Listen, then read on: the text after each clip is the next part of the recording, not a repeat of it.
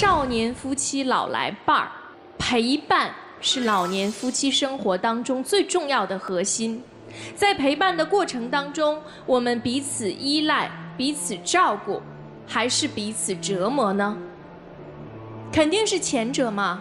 对，老师，对。你把他关外边了，你有没有想过，就因为这一门之隔，再也不回来了？你扔的时候想过吗？当时没想过。人家不到六十岁的大姐，对吧？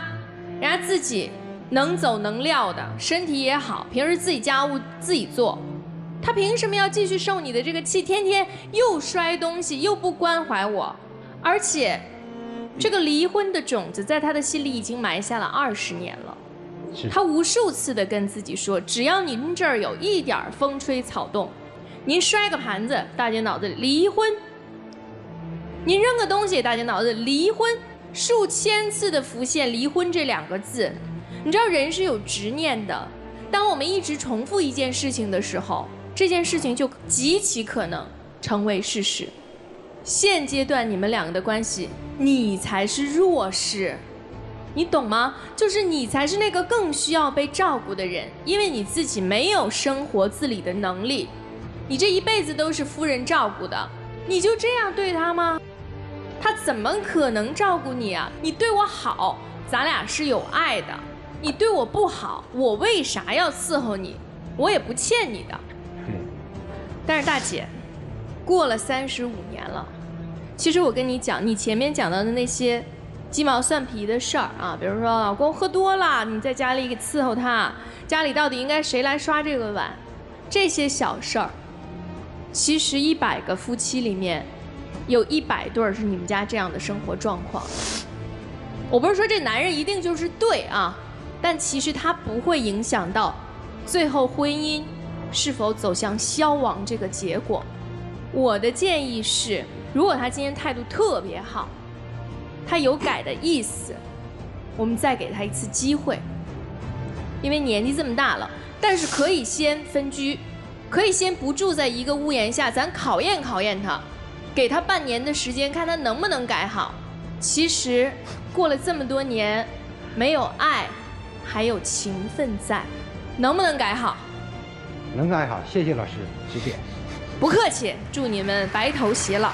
谢谢建言老师。大哥，为什么你的性格会变成这样？和喝酒是有关的，就是人的大脑里面。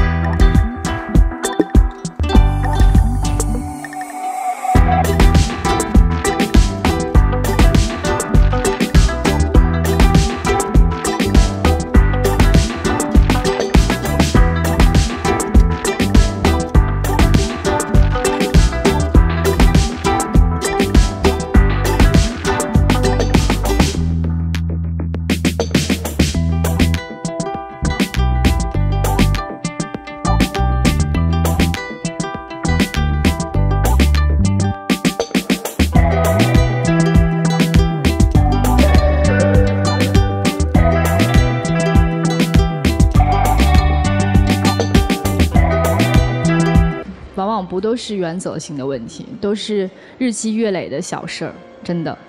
我看到您二位啊，我一下想到了我的爷爷奶奶，一模一样。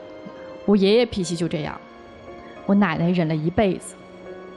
后来我爷爷得了那个老年痴呆，突然一下变安静了。我从小就是觉得我奶奶太可怜了。我每次都跟我爷爷说：“我说爷爷，你能不能别老这么欺负我奶奶？你干嘛呀？”然后我爷爷你不懂小孩儿，我奶奶是什么状态呢？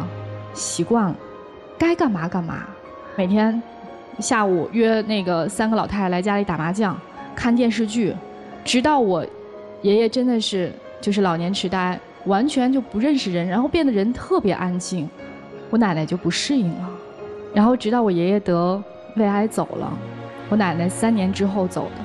这三年，我奶奶就经常说，以前就想过一个人清静的日子，我就想一个人过，我受够这糟老头子气了，气死我了，天天摔的东西。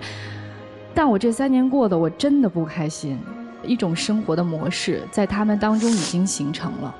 你有的时候在一起的时候，你真的是无法忍受；但当你分开的时候，你会发现，我更无法忍受，因为你已经融入到我的生命当中了。一段婚姻走了三十五年，到最后两个人搀扶着一起走向死亡，走向生命的终结。这个到最后的这个情分，不是说一言两语、一个对一个错就能辨别得开的。珍惜这来之不易的婚姻之情、夫妻之情，这一世的夫妻之情。我始终坚信这一点，然后我觉得您肯定是那种眼里揉不得沙子的人，稍微就是把心放宽一点，睁一只眼闭一只眼。当您的心变宽了，他可能也就没地儿发脾气了，没地儿找茬儿去了，你知道吧？他现在是什么？他在找家中的地位和威信。当他把这个东西找到了，他可能就真没地儿发脾气去了。所以我今天更多的想劝的是您。我还是希望夫妻情是珍惜的。如果您要觉得继续在一起的话，调整的就是您自己。咱把心放宽了。对于您，想想未来以后，谁伺候您呀？谢谢老师。嗯，脾气稍微收一收，然后知道感恩。好的。未来的日子就还能过下去。谢谢你们二位啊！谢谢山大老师。